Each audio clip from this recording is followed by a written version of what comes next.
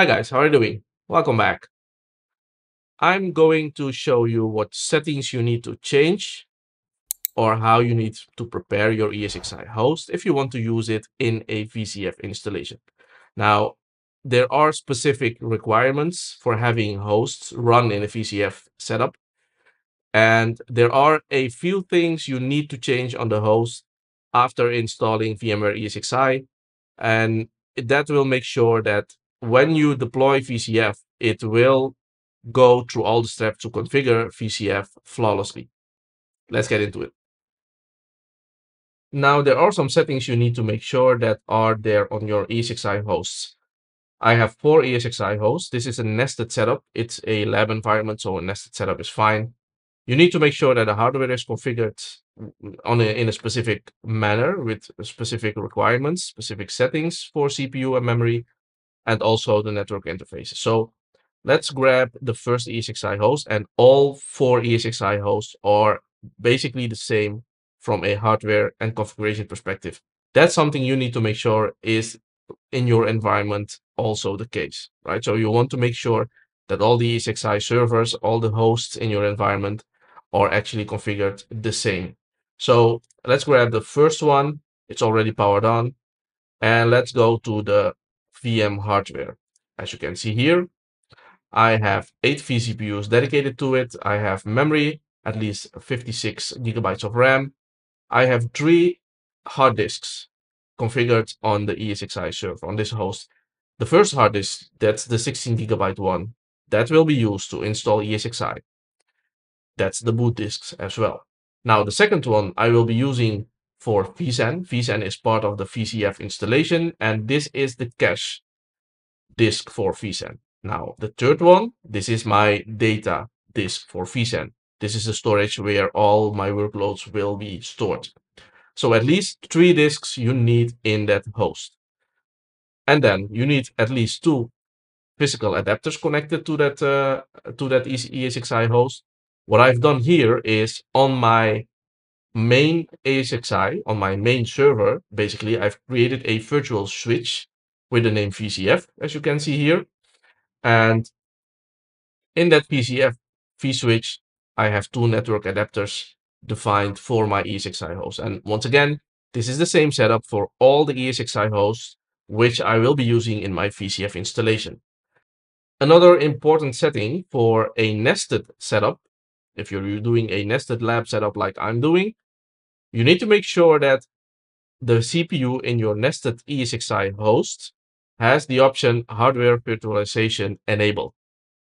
If you don't do this, well, basically you're not able to install virtual machines on that nested ESXi host and the setup of VCF will fail.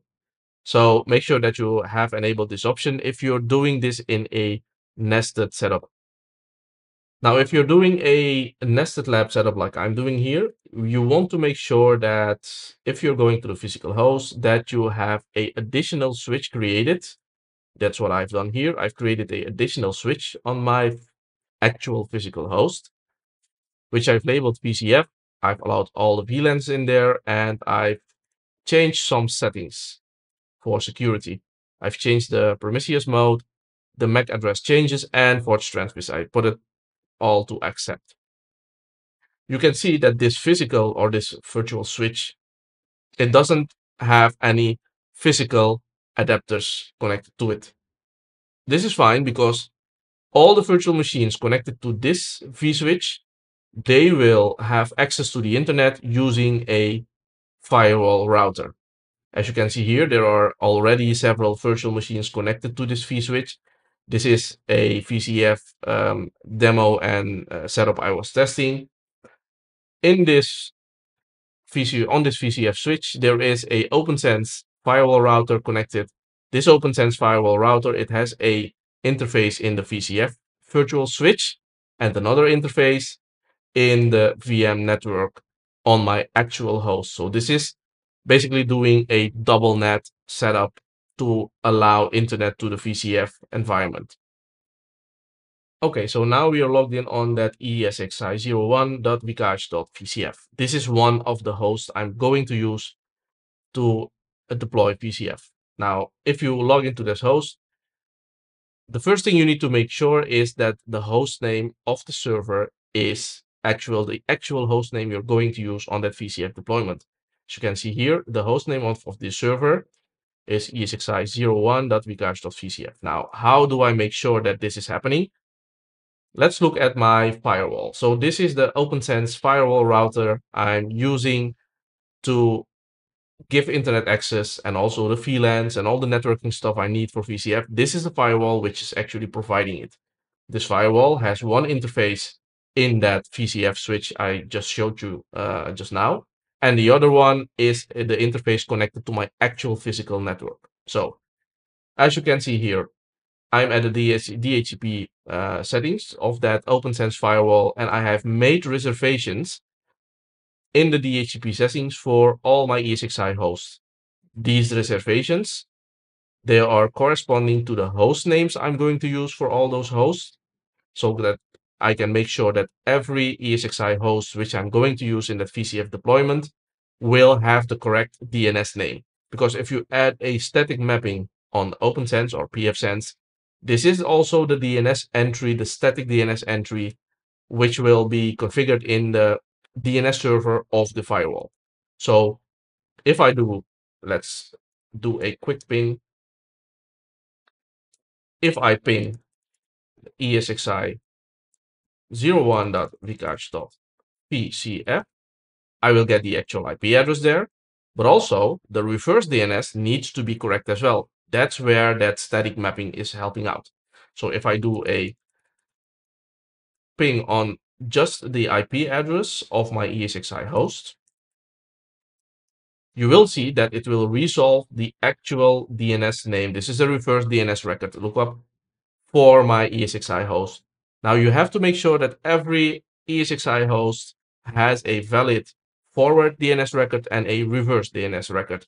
This is the way you're doing it on pfSense and OPNsense. I'm sure your firewall has entries for this as well. Or maybe you're using a Active Directory domain controller with the with a Microsoft DNS.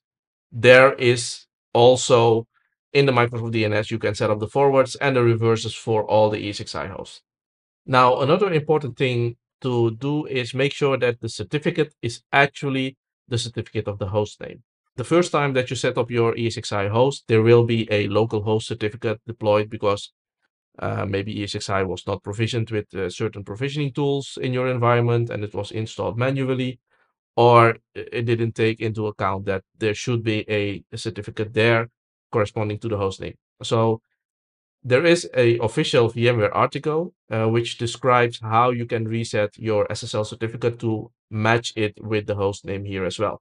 So when I go to my certificate information, I can see that this is the certificate supplied for my ESXi host and it corresponds with the actual name, the actual DNS entry I'm going to use when installing VCF and having this host uh, configured with VCF. Another thing I can always configure is make sure that my management interface on my ESXi host is configured and it has a static IP address because I don't want to take the chance that when I reboot this ESXi host, somehow it will get another IP address using DHCP. So I always make sure that um, I have a static IP address configured here. Another important thing is make sure that you configure your management network. This is the ESXi host. As you can see here, it's the ESXi 1 0 uh, ESXi 01.vcache.vcf. I made sure that I configured my management network with the correct VLAN, but also with a static IP. Now, in that IP configuration, make sure that the default gateway is set as well. And of course, you have the DNS configuration. I always enter the host name of the of my ESXi host here as well. One question about storage always pops up that when you install VCF, you need at least three disks in your ESXi host right? I showed you, as you can see here, this is the ESXi host 01. As I uh, I have configured that 16 gigabyte disk, this is the boot disk, and then I have a cache disk for vSAN, and then I have the actual vSAN storage disk there as well. When installing your ESXi uh, host with the standard VMware image or that uh, image provided by your uh, hardware vendor, you don't have to create data stores there. The only data store you will have is, of course, the data store that that disk where VMware itself is installed. The other disk, you don't have to do anything. During the setup, during the configuration of VCF, the Cloud Builder appliance will see those disks and actually configure vSAN to use the specified uh, disk for caching and also for the actual storage. So you don't have to create data stores on those disks beforehand. Something to remember, it uh, is not needed. It will be automatically done during uh, setup. And then the last thing I always, always change here and set up accordingly in my network is NTP, time. So you have to configure time services on every ESXi host, regardless of if it, it will be uh, provisioned by or if it will uh, be provided by your DHCP server. You have to configure the time service on every ESXi server. And the best thing to do, of course, is to point it to a central time server I already made a video about setting up NTP with a centrally uh, service in your network. Now, as you can see here, this is the ESXi01. Again, uh, go to manage. In the system tab, you will have the time and date, and you have to make sure that the time server stops and starts with the host. And of course, that it is pointing to a valid NTP server. This same NTP, NTP server should be used when setting up the Cloud Builder uh, appliance. If you're not using a provisioning tool to install uh, ESXi, this service is um, not enabled in a default ESXi setup. You have to enable it in a default ESXi setup and configure it. And basically that's it if you install ESXi. Out of the box, need to make sure that the DNS entries are there, your management interface is configured, your certificates are corresponding to that host, and of course, the configuration of NTP. If you're using hardware specific to a vendor, make sure that that hardware is on the actual compatibility list for uh, vSphere 8 and VCF 5.1.1. It's always good to check that your hardware is compatible with the versions of the software you're going to use. And make sure that if there are specific firmware upgrades or drivers to be installed, you have them installed on the ESXi host before actually going to prepare and use them for VCF. So for now, thank you for watching and as always, don't forget to click on the like and subscribe button below. It will help my channel out a lot. If you have comments, leave it in the comment section. I will get to them as soon as possible. Take care and see you soon. Bye.